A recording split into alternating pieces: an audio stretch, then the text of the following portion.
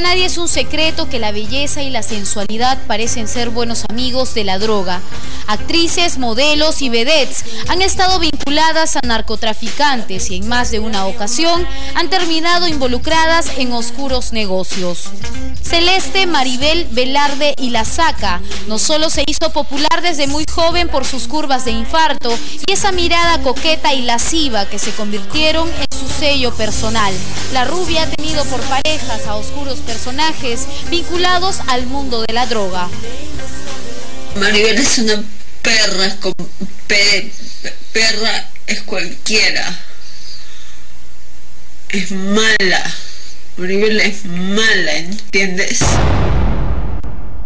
Su vida sentimental ha estado marcada por hombres de cuestionable moral.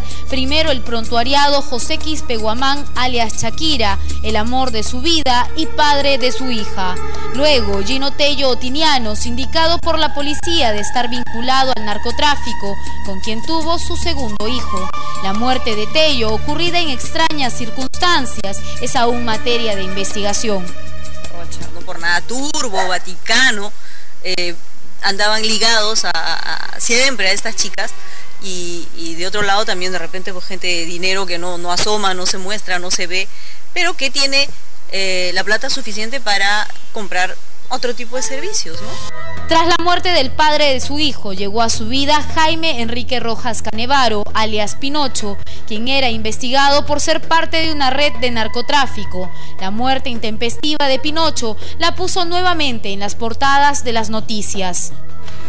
Maribel, Maribel, decir? Con una casaca rosada, pantalón del mismo color, encapuchada y con lentes oscuros, la bailarina caminaba resguardada, nerviosa, en silencio, sin siquiera mirar a la prensa. Otra rubia vedette que fue asociada con el mundo de la droga es Eva María Abad. Atrapada en la celda de sus vicios, Eva María continúa en la lucha contra su adicción, un peligroso camino que comenzó desde muy joven. La vedette confesó que formó parte de la lista de esbeltas mujeres que contrataba el funcionario bancario Cromwell Galvez, un selecto grupo que incluía a figuras como la popular potoncita Mónica Adaro, Lucy Cabrera, Maribel Velarde y Marta Chupipiondo, la mujer boa más de cinco o seis pastillas para poder estar un poco tranquilas, para dejar de llorar. Eh, muchas de estas chicas vienen de sectores bien humildes, ¿no? O han sido madres solteras, muy jóvenes, eh, y la única herramienta con la que han contado realmente es con su cuerpo. Eh, para, para, una persona que está en este mundo, en el mundo de la farándula, de las lentejuelas o del modelaje a menudo, la única herramienta con la que cuenta es su cuerpo. Si de porristas hablamos, Shirley Cherry se vio involucrada con una red de narcotráfico. Testigos afirmaron que la blonda mujer era contratada por los capos trujillanos Salazar Paredes para animar eventos privados.